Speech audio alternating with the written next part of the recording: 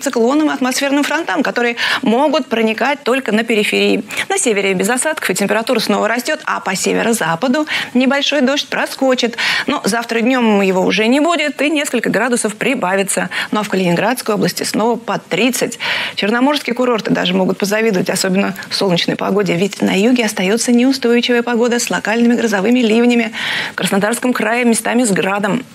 В средней полосе с символическим дождем в Ярославской и Костромской областях. Еще вдоль Волги.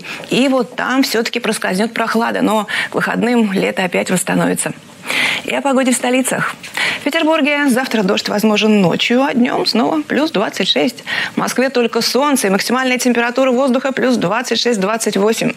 Солнечная теплая погода и дальше, только накал немного снизится. Спасибо. Это был прогноз погоды от Ирины Поляковой.